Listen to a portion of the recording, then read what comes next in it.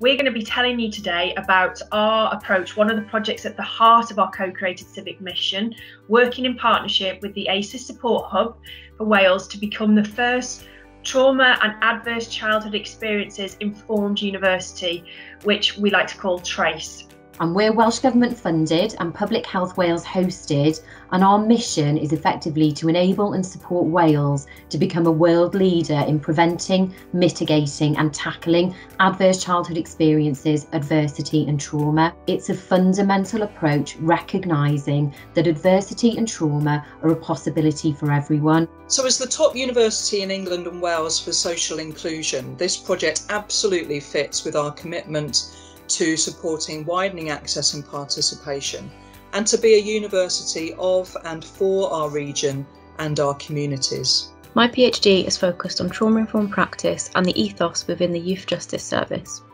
I also developed the Navigating the Storm concept, which explains trauma informed practice in a simple and accessible manner.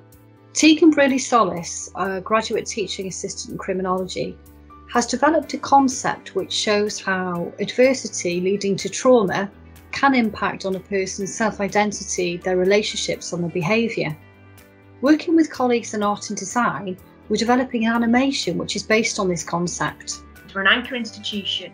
We care passionately about people and the places in which we're, we're part of, and actually, we've got an opportunity through our co created civic mission and through our ethos as a university to really uh, engage with partners such as 2025 and wider to maximise our, our movement towards a trauma informed society across our region.